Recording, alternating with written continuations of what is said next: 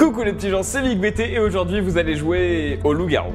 Vous êtes 10 joueurs, Théo, Laura, Elsa, Lou, Maxime, Romain, Léa, Quentin, Arthur et toi, bien sûr, qui regarde cette vidéo.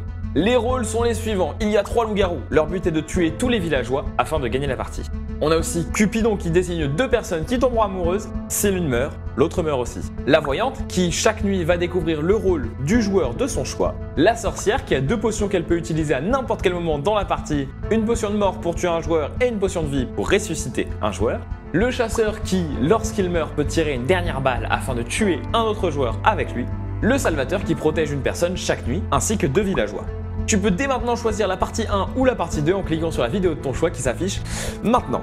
Si les vidéos ne s'affichent pas, tu as les liens dans la description. Bonjour à tous et puis bah c'est parti, choisissez partie 1 ou partie 2 ou partie 1 ou partie 2 ou partie 1 ou partie 2 ou partie 1 ou partie 2.